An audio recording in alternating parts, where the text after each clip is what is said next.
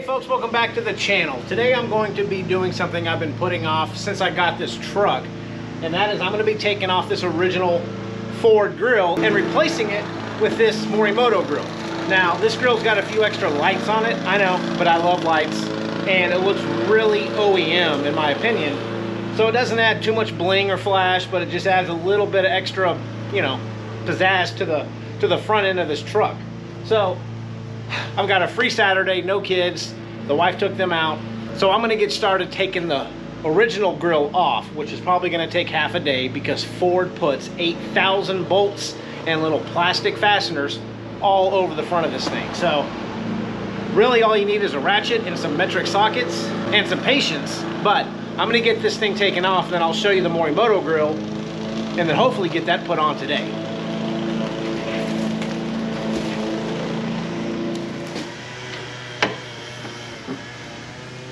Okay, okay, well, there's about 16 of these little clips that I have to take off. And this kind of rubber piece covering the front, you gotta take this off, then you gotta take this front bumper piece off, the headlights off. You know, Ford doesn't make it very easy, but enjoy the music and I'll put you on a time lapse.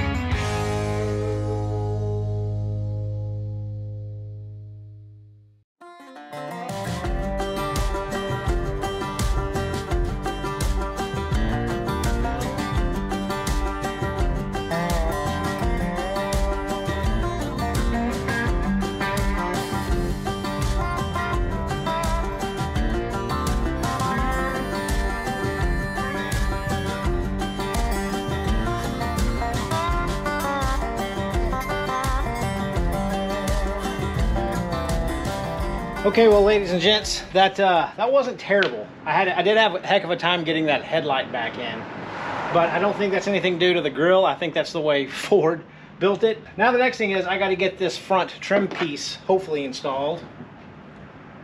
Yeah, this isn't to be fun.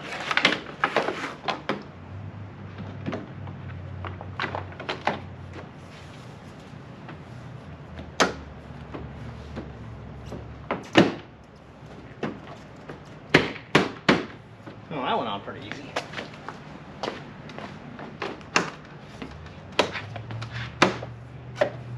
Oh.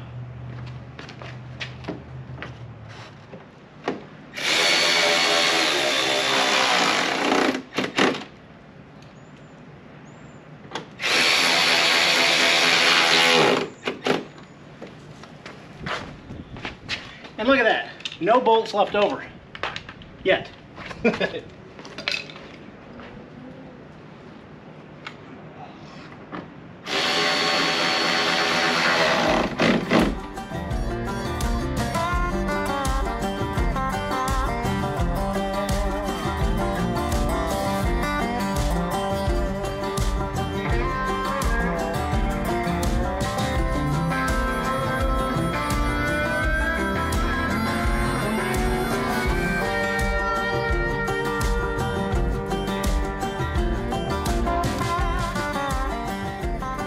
Yep, now I can officially say I have no bolts or fasteners left over. Okay. Now I know this is a pretty bad angle with the sun and the shade, so I'm gonna get I'm gonna get the truck cleaned up, and then I'll show you what this looks like at night. And uh, I think it's gonna be pretty sweet.